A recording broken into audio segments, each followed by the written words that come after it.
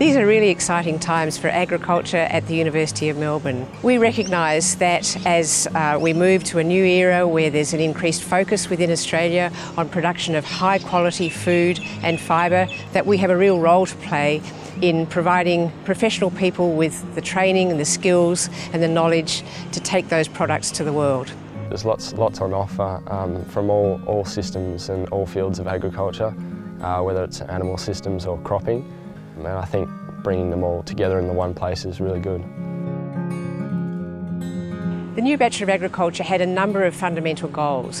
One of those was to provide a degree which had a really strong foundation of agricultural science. We were really keen that this degree should contextualise those studies into agriculture, agriculture both in Australia and internationally.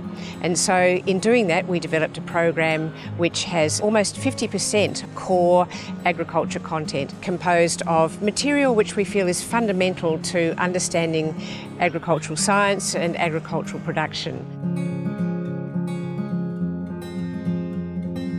We've been told so many times that the thing that employers are looking for is practical experience and knowing what's happening on a farm.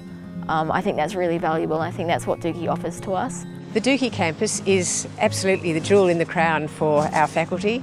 It's a working farm enterprise of over 2,000 hectares, one of the largest enterprises in north central Victoria. And all of our students have multiple opportunities to visit a range of other enterprises around uh, the, the northeast and north central regions of Victoria. And they'll develop a really strong understanding of the whole range of opportunities available to them in the agriculture sector across plants, across horticulture, cereal, crop cropping, animal production systems and so on.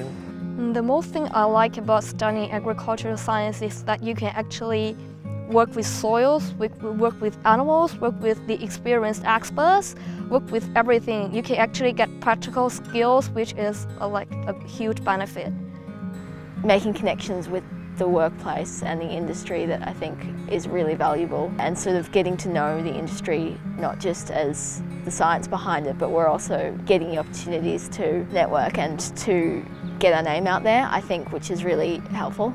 There are a range of scholarships available for students studying uh, the Bachelor of Agriculture.